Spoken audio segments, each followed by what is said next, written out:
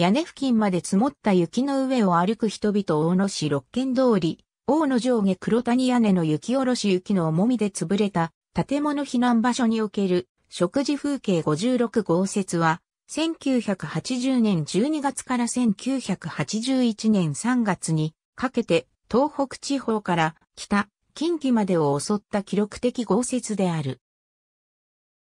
昭和56年豪雪などとも呼ばれる。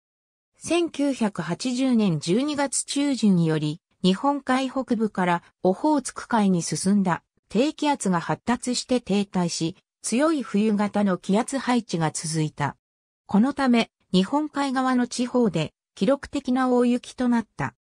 さらに同年は、気温も全国的に平年より低く日照時間の短さも38号節に匹敵するほどだったので、雪が溶けず積もり続けるばかりの状態になってしまった。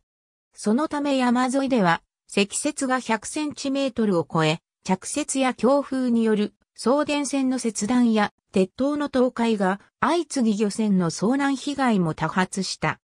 松田は自動車専用線で富山新港の松田岸壁に自動車を運んでいたが、雪の重みで大量の自動車が壊れ、船による輸送から撤退した。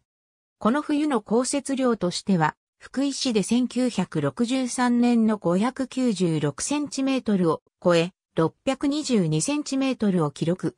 1986年と並んで、歴代1位タイである。福井県では1980年12月27日から29日にかけて、嶺北地方を中心に終日雷を伴って激しい雪となったが、12月に福井市の積雪が100センチメートルを超えたのは1917年以来のことであった。翌1981年1月4日から8日にかけては再び嶺北地方を中心に大雪となり、10日からは特に降雪が激しさを増した。福井県内の観測記録は以下の通り。集中的な土下雪のため、国鉄北陸本線は1980年12月29日と1981年1月6日はほぼ完全麻痺となり、私鉄の京福越前本線は1980年12月29日から1981年1月1日及び同年1月6日から10日まで全線不通となった。福井県大野郡泉村などの山間部は完全孤立した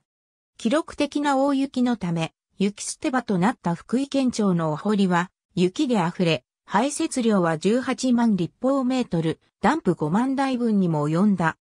この雪山は、隣の5階建ての福井県警本部の建物と並ぶほどになり、56号雪新山と呼ばれることもあった。この雪山は6月まで残った。ありがとうございます。